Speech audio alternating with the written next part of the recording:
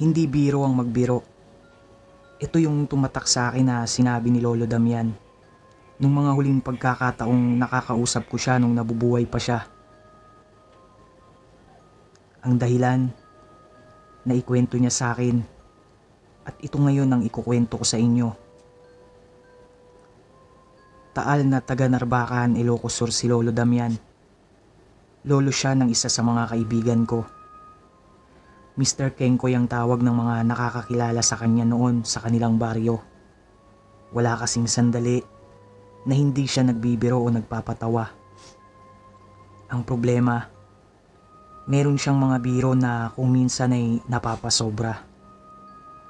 Kaya sa halip na kaibigan, kaaway ang natatagpuan niya. Anong biro po ba yung hanggang ngayon ay pinagsisisihan nyo? Tanong ko noon kay Lolo Damian. Nang huli akong madalaw sa Narbacan. Mahina na siya noon at sakitin na. Nung nanakot ako ng mga tao gamit ang isang bungo, sagot niya. Napansin ko na parang may bara sa lalamunan ni Lolo Damian. At atubiling magkwento pero kinulit ko siya. Mag-uundas daw noon at nasa loob siya ng sementeryo. Naglilinis ako sa puntod ng mga magulang ko sa public cemetery ng Narbacan nang may mapulot akong bungo ng tao sa tabi ng isang basag na nicho. Ano pong ginawa nyo? Sa halip na ibalik ko sa loob ng nicho, inilagay ko ito sa dalakong sako at inuwi. Di po ba kayo natakot? Yun nga ang dahilan. Kaya ako kinuha yung bungo. Naisip ko na magagamit ko yun sa pananakot. Sagot niya. Ayon kay Lolo Damian, may kinaasaran daw siyang isang grupo ng mga kabataang lalaki na nagsisiga-sigaan sa lugar nila. Ilang beses na rin daw siyang nabuli ng mga ito. Gusto daw niyang subukan ang kanilang tapang at yun ang naisip niyang paraan. Ang takuti ng mga ito. Inaabot ng gabi ang tropa ni Marlon kapag umuwi. Sa liblib na kakahuyan na kanilang daraanan ko sila naisip na takutin. Nilagyan ko ng tali ang bungo at ibinitin ko sa sanga ng puno na madaraanan nila. Nilagyan ko rin ng may sinding kandila ang ibabaw ng bungo para malaman agad ng makakakita kung ano ang nakalutang at masasalubong nila. Sa biglang tingin, iisipin mo talaga na lumulutang yung bungo. Ano hong nangyari? Sumakit ang tiyan ko sa kakatawa dahil parang hinahabol ng pitong demonyo si na Marlon habang kumakaripas ng takbo sa sobrang takot. Sabi ni Lolo Damian. Bungo lang pala ang katapat ng mga yon. Isinuli na po ba niyo yung bungo sa sementeryo pagtapos niyong takutin si na Marlon? Malungkot na umiling si Lolo Damian. May biniro pa akong iba gamit yung bungo. Sabi niya bago huminto. Parang may naaalalang hindi maganda o nakakatakot. Minsan, nagtataka ko kung bakit ganun na lang katindi yung takot ng ibang binibiro ko pag nakita na nila ang bungo. Ano ba ang nakakatakot sa bungo? Pumunta ka sa sementeryo at, at tsak na may makikita kang nakakalat na bungo. Hanggang sa naghiganti yung... Yung isa sa mga nabiro nyo? Marahang tumango si Lolo Damian bago sinalat ang may kahabaan at kalalimang pilat sa leeg niya. Noon pa namin tinatanong kung saan niya nakuha ang pilat na yun. Pero hindi niya sinasabi. Nakita ko ang panginginig ng kamay niyang nakahawak sa pilat. Pinasok niya ako sa kubo isang gabi. Nagawa akong tumakbo at napasuot ako sa kakahuyan. Halos magkapatid-patid ako sa ugat ng mga puno.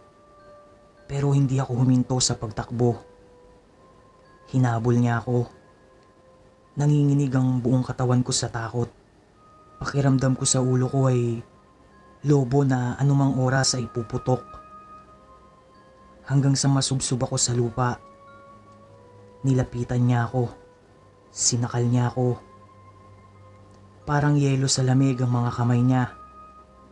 At ang mga daliri niya, halos balat na lang ang nakabalot sa mga yun. Wala nang laman tulad ng ibang bahagi ng katawan niya.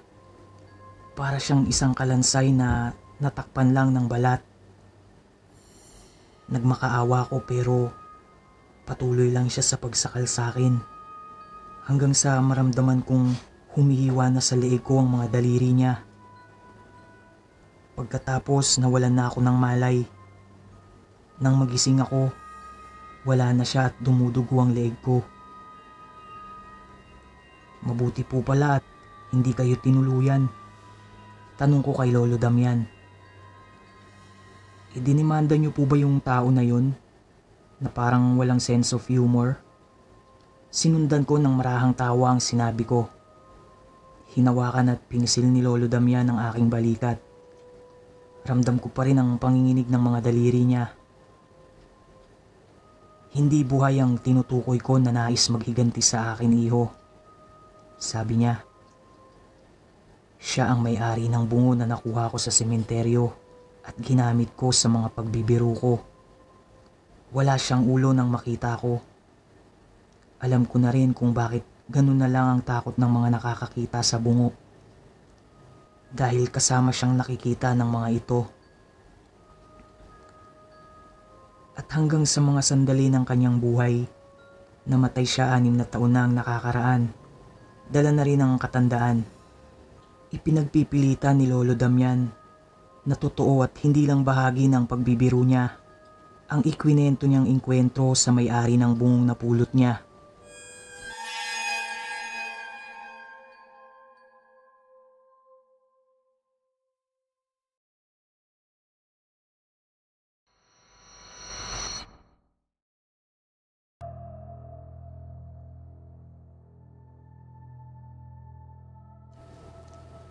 It was December 2015 nang mangyari to sa akin. Kakatapos ko lang ng sinusulat kong manuscript at naipasa ko na rin yon for approval. Nang tawagan ako ng pinsan kong si Ivy na taga Cavite. Ini-invite niya ako na magbanding kasama ang iba pa naming pinsan sa bahay nila. From Laguna ay pumunta ako ng Cavite Eksakto na nakahanda na ang hapunan, kaya naman nakasabay ko pa silang kumain. Pagkatapos ng hapunan, ay nag-inuman kaming magpipinsan habang nanonood ng palabas sa living room. Bali lima kami noon. Hindi ko maipaliwanag pero panay ang pagtaas ng balahibo ko. At napansin naman yun ng pinsan ko. Tinatanong niya kung okay lang ako. Ang sabi ko ay medyo nilalamig lang ako. Kaya pinahiram niya ako ng jacket.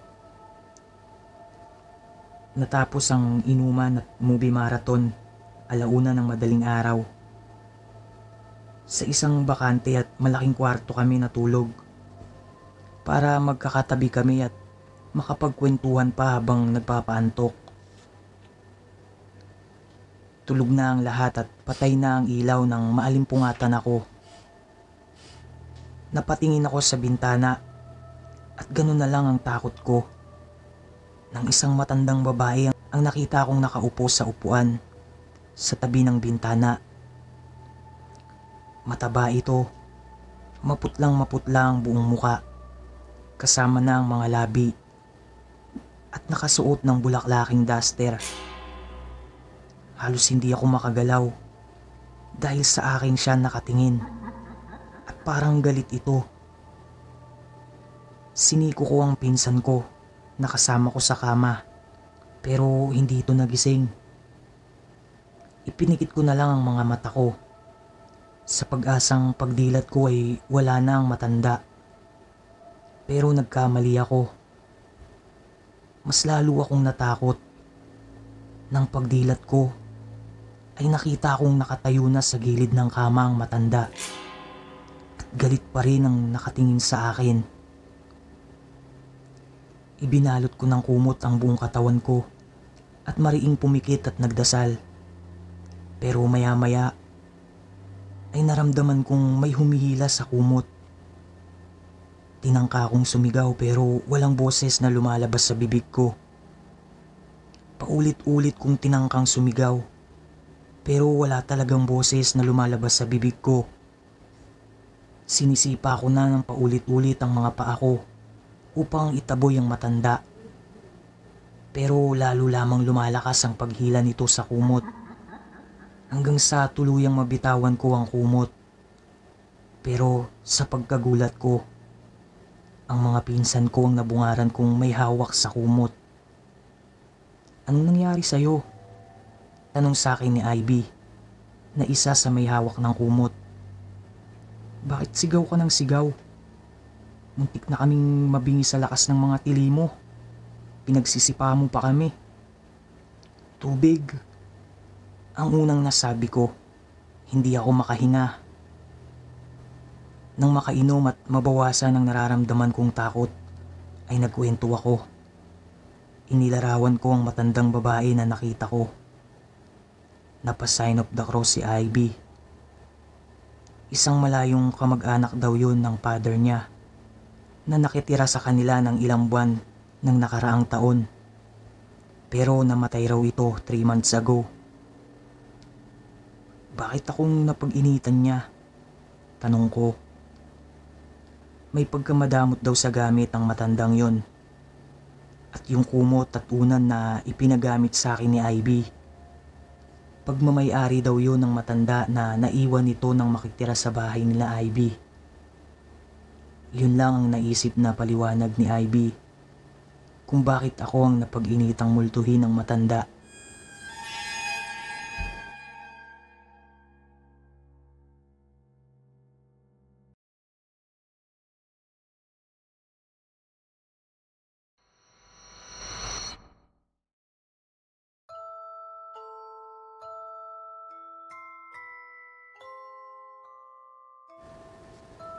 Ang kwentong ito ay ikwinento lang sa akin ng nanay ko. Bata pa lang daw sila nang biglang mawala ang bunsong kapatid nilang babae na si Tita Maylin. Sa pagkakatanda niya ay anim na taong gulang ang tita ko na yon nang mawala ito. Napagalitan daw kasi ito ng lola ko kaya nagtatakbo at nagtampo at hindi nila alam kung saan nagpunta. Ang buong akala nila ay babalik din ito. Pero sumapit na ang hapunan ay wala pa ring Maylin na umuwi. Doon na nila ito hinanap sa mga kapitbahay at bahay ng kalaro nito. Pero wala ito ron. Nagpunta na sila sa pulis para i-report ang nawawala nilang kapatid. Mrs. Hanggat wala pa pong 24 oras na nawawala ang isang tao, ay hindi pa ito masasabi na missing. Iyon daw ang sabi ng pulis sa lola namin. Hanggang sa isang kapitbahay nila ang nagsabi na pumunta sila sa kakilala nitong albularyo at baka raw makatulong yon para mahanap ang tita ko. Hindi na nga nagpabukas pa ang lola at ang nanay ko. Nang gabi ring yun, ay pinuntahan nila ang nasabing albularyo. Ipinakita lang nila ang picture ng tita ko at sinabi ang pangalan nito. Umuwi na kayo at magmadali habang may oras pa. Sabuyan nyo ng asin ang pinakamalaking puno sa likod ng bahay nyo para ibalik siya ng maligno. Huwag kayong titigil sa pagsaboy ng asin hanggat hindi ibinabalik si Maylin. Sabi agad ng albularyo. Agad na bumili ang lola ko ng tatlong kilo ng asin at paulit-ulit na is- isinaboy iyon sa pinakamalaking puno sa likod ng kanilang bahay. Iyak daw ng iyak si lola habang ginagawa yon. Dahil kahit ito ay hindi alam kung totoong maibabalik nga ng ginagawa niya ang tita ko. Halos nangangalahati na raw ang asin nang makarinig sila ng umuungol mula sa itaas ng puno. Pagtingala nila, nakita nila ang tita Maylin ko na nakaupo sa isang pinakamalaking sanga at nakasandal sa katawan ng puno. Parang wala ito sa sarili at maruming marumi ang damit na suot din daw nito nang mawala ito. Tagaktak daw ang luha at pawis nito sa katawan. Lampa at matatakutin daw ang tita ko. Kaya walang makapagpaliwanag kung paano nito naakyat ang sangang kinaroroonan. Lalong maraming natulala at hindi makapaniwala nang magkwento na raw ang tita ko sa nangyari dito. Ayon sa tita ko, nagtago raw ito sa malaking puno ng mapagalitan. At habang naroon ito ay may lalaking lumapit dito na ang itim ng mga mata ay gatuldok lang. Masangsang din daw at mabaho ang amoy ng lalaking ito. At mahahaba sa pangkaraniwan ng mga braso. Sinunggaban daw ng lalaking ito ang tita ko at hinila papasok sa loob ng puno. Parang gubat din daw ang itsura ng loob ng puno. Nakawala raw ang tita ko sa pagkakahawak ng lalaki at nagtatakbo. Naririnig daw ng tita ko ang mga kamag-anak na tumatawag sa pangalan niya pero hindi niya nakikita ang mga ito. Hanggang sa mawalan daw ng malay ang tita ko. At nang magising ay nasa labas na ito ng puno at nakaupo sa isang malaking sanga. Maraming nagsasabing naligaw lang daw sa kalapit na gubat ang tita ko at nagkaroon ng kalituhan sa isip dahil sa pagod at gutom at hindi totoong nakapasok sa loob ng puno. Pero may mga naniniwala rin sa kwento ni tita. Unang-una nga, paano siya nakaakyat sa itaas ng puno.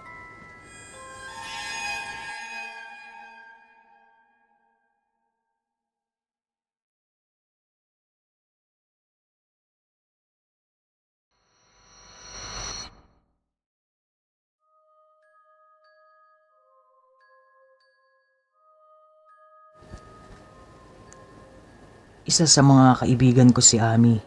Hindi niya totoong pangalan. Ang nagkwento sa akin ang insidenteng ito. Nangyari daw ito last year lang. Habang umaatin siya ng isa sa mga summer class niya. Kagaya ng dati, late na namang nagsidatingan ng mga magagaling na mga classmate ni Ami. Palibasa, last subject na nila ang Psychology 101. At hindi kasing terror ng ibang mga profesor namin ang profesor nila sa nasabing subject. Nakasanayan na ng maraming kaklase namin na dumating ng late. Mabuti sana kung maaga silang natatapos. Pero ayon sa schedule na sinusunod ng guro nila, magtatapos sila ng alas 7 ng gabi. Rush hour. Makikipagpatintero na naman siya sa mga kalye at makikipagbuno sa kapwa pasahero para makasakay at makaabot sa bahay na buo pa ang katawan. Napatingin siya sa wall clock ng kanilang classroom. 5.30. Dapat 30 minutes ago pa sila nakapag-umpisa. Pero heto, nakatunga nga pa rin sila. 15 minutes pa ang lumipas bago sila nag-umpisa sa klase nila. Pinagsimula na ng kanilang propesor ang grupong naatasang mag-report sa araw na yon. Parts of the brain, functions, common ailments, causes, symptoms, diagnosis, treatment. Napatingin si Ami sa labas ng classroom. Madilim. Tahimik. Ano pa nga ba ang aasahan niya? Sa paaralang pinatatakbo ng mga madre sa Cebu City. Isang maliit na paaralang mas matanda pa sa lolo ng lolo niya. Reynes. Ang tagal pang matapos ng klaseng ito. Anong oras na naman kaya siya makakauwi? Reynes. Ilang pasahero na naman kaya ang kanyang makakasagupap para lang makaupo ng maayos. Reynes. Nagitla siya. Kanina pa pala siya tinatawag ng kanilang propesor. Madam, parang lumilipad na naman ang isip natin, Miss Reynes. Gutom ka na naman siguro. Napangiti siya ng bahagya. Bakit hindi ka bumili ng pagkain sa labas? Medyo mahaba-haba pa tong gagawing reporting ng Group 6. Sige po ma'am, sagot niya. Doon niya na-realize na hindi pa pala siya kumain ng snacks kanina. Bored na rin siya at inaantok. Siguro kailangan na rin niya ng konting unat at lakad. Bilhan mo na rin kami ng mga kaklase mo. Libre mo ma'am? Halos magkapanabay na tanong ng mga kaklase niya. Sige na ma'am, minsan lang naman to. Dagdag pa ng mga ito. Napailing na lang ang propesor nila. O siya, sige na, lakad na. Diyan ka na lang sa may Julie's bumili. Tukoy nito sa bake shop na matatagpuan sa labas lang ng gate ng paaralan nila. Ingat ka. Sige po. Mabilis na nag-inat si Ami pagkalabas ng classroom. Nasa second floor lang ang classroom nila.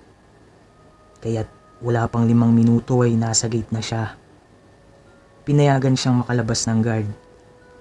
Bumili siya ng mga tinapay at agad na bumalik ng school. Ewan niya kung bakit pero parang biglang bumigat ang pakiramdam niya. Bigla ay nagkaroon siya ng pag-aalinlangan na bumalik sa classroom. Ilang minuto na nananatili lang siyang nakatayo. Hindi kalayuan sa gate. At hindi rin niya maintindihan kung bakit. Bigla ay lumamig ang hangin na dumadampi sa balat niya. Nakasalukuyang nagpapatayo sa mga balahibo sa buong katawan niya. Parang bigla ay gusto na niyang umuwi. Pero hinihintay na ng mga kaklase niya ang mga pagkain binili niya. Nasa parking area na siya malapit sa auditorium. Nang bigla siyang makarinig ng ingay. Sunod-sunod na malalakas na kalabog. Biglang nagpang-abot ang kilay niya. O galing lang sa nagugutom niyang tiyan ang naririnig niyang ingay. Napangiti siya at tinuloy ang paglalakad. Pero maya-maya ay narinig uli niya ang ingay na yun. Nagtayuan uli ang mga balahibo sa katawan niya. Nang bilisan niya ang paglalakad, ay mas bumilis rin ang pagbayo ng mga kalabog. Nang huminto siya ay huminto rin ang ingay. Nang maglakad uli siya ay bumalik ang tunog. Doon niya na-realize nakahawig ang tunog ng pagpukpok ng martilyo sa pader. Nagpalinga-linga siya habang nakakaramdam na ng takot. Wala namang nagtatrabaho sa paligid ng paaralan ng mga oras na yon. Pinagpatuloy niya ang paglalakad. Binilisan niya. Bumalik uli ang pagpukpok. Pabilis ng pabilis ang paglalakad niya. Palakas rin ang palakas ang pukpok ng martilyo. Para siyang sinusunda ng nasabing martilyo. Nang mga sandaling yun ay sigurado na si Ami na sa auditorium nang gagaling ang ingay. May nag-overtime ba na karpinteryo doon? Pero wala siyang alam na may ginagawa sa loob ng auditorium. Noong nakaraang linggo, may inaayos sa loob ng auditorium. Pero itinigil na yon dahil may nangyaring aksidente. Pumihit siya at pinilit ang sariling maglakad papunta sa auditorium. Pagsilip niya sa loob ng auditorium, dilimang sumalubong sa mga mata niya. Walang tao ron. Pero ang tunog ng martilyong pumupukpok, patuloy niya yung naririnig. Malalakas, sunod-sunod Parang galit ang sinumang may hawak at pumupukpok nang hindi niya nakikitang martilyo. Nanginginig ang buong katawan na kumalipas siya ng takbo. habang hawak-hawak pa rin ang supot ng pinamili niya. Ilang araw na ang nakakaraan nang mapabalita sa iskulang pagpapatigil sa pagpapaayos ng auditorium dahil sa aksidenteng nangyari sa isa sa mga karpinterong nagre-repair dito. Hindi napansin ng nasabing karpintero na hindi maayos ang pagkakalagay ng hagdanang inakyatan nito. Kaya bago pa man ito umabot sa pinakamataas na bahagi, ay nahulog ito. Nabagok ang ulo na naging dahilan ng mabilis nitong kamatayan.